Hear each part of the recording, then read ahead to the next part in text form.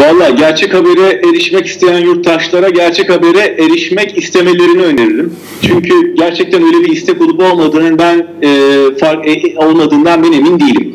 Çünkü e, her şeye rağmen bilgiye erişmek, e, Türkiye'de neler olup bittiğini öğrenmek, sağlıklı yoruma, dengeli yoruma, e, en azından e, pompalanan her kanaldan e, üzerimize boca edilen yanlı propagandaya rağmen e, ya da bunun karşısında e, daha soğukkanlı e, haberlere, tarafsız haberlere, nesnelliğe, e, sağlıklı yorumlara ulaşmak isteyen çok fazla kişi olmadığını düşünüyorum ben.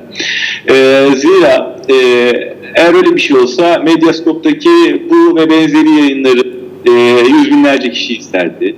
E, bir gün gazetesini on binlerce kişi okurdu, Cumhuriyet Gazetesi'ni yüz binlerce kişi okurdu. Az sayıdaki e, haber sitesini e, günde milyonlarca kişi tıklardı ve bu susuzluklarını gidermek için habere dair susuzluklarını gidermek için başka pek çok e, ortaya çıkabilecek yeni yayın organına e, rehberlik ederlerdi, onlara cesaret verirlerdi ama böyle bir ortam maalesef yok.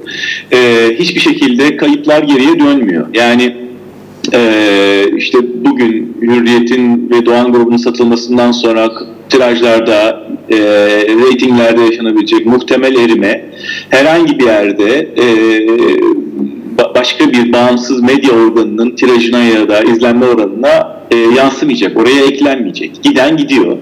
E, dolayısıyla e, işte eldeki az sayıda bağımsız, patronsuz yayın organına sahip çıkmak gerekiyor. Bunların varlığına, yaşamasına katkıda bulunmak gerekiyor. Kimi zaman bunları izlemek, kimi zaman satın almak, kimi, kimi zaman düşük e, bağışlarla ki bunların her birinin mekanizması var, kurulmuş durumda. E, bunların yaşamasına e, destek olmak bugün yapabileceğimiz tek şey. Çünkü şöyle bir şey var yani e, hepimiz kaygılanıyoruz, hepimiz geleceğe dair endişeler duyuyoruz, hepimiz söyleniyoruz. Ama bir yandan hepimiz kendi işimizi yapmaya devam ediyoruz. Bir yandan da e, söylenerek hayatımızı sürdürüyoruz. E, oysa yani vatandaşlık dediğimiz şey gözlerinizi kapamak, mutsuz olduğunuz gerçekleri görmezden gelmek. E ben o gazeteyi okumuyorum, e, ben o işte e, gelişmelerden sinir oluyorum, ha, haberdar olmak istemiyorum. Gazete almayı da kestim zaten. Gazete okumuyorum demek e, ve aynı zaman aynı anda şikayet etmek e, büyük bir haksızlık, büyük bir sorumsuzluk. Hiçbir vatandaşın böyle bir hakkı yok.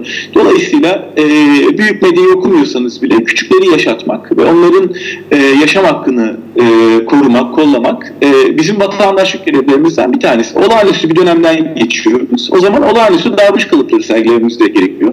Bu bizim vatandaşlık görevimiz.